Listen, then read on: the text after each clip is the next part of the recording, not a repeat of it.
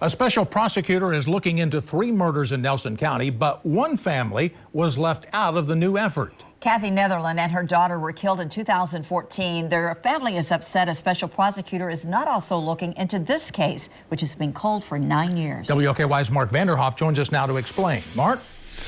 Yeah, that's right. Sarah Harden reached out to us after a new development in the murder cases of Jason Ellis, Crystal Rogers, and Tommy Ballard.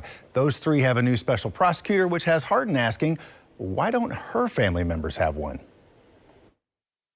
I was sitting at home and my dad called me and said, Are you watching the news right now?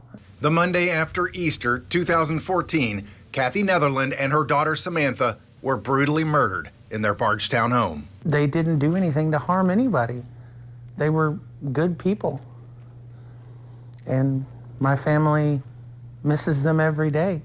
Their murders have gone unsolved, like others in Nelson County. Bardstown police officer Jason Ellis in 2013, mother of five Crystal Rogers in 2015, and one year later, Rogers' father, Tommy Ballard.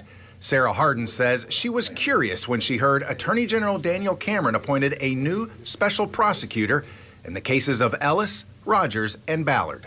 At first, I was happy before I read the article because I thought, oh, great, we're going to get somewhere. And then I read it, and me personally, I took it as a spit in the face. Because it's like, why exclude my family? Are we not important?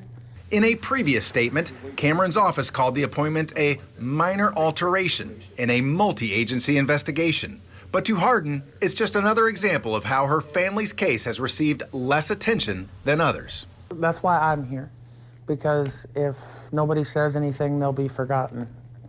And I made a deathbed promise to my dad that that wouldn't happen. Harden says her father, Mike Harden, was close to his cousin, Kathy Netherland. I've never seen him cry as hard as, as when he told me about Kathy and Smith, My dad, uh, my dad loved her dearly. The only lead investigators have made public in the case is footage of this black Impala captured speeding away from the Netherlands home on U.S. Highway 150. There's got to be somebody that knows something somewhere.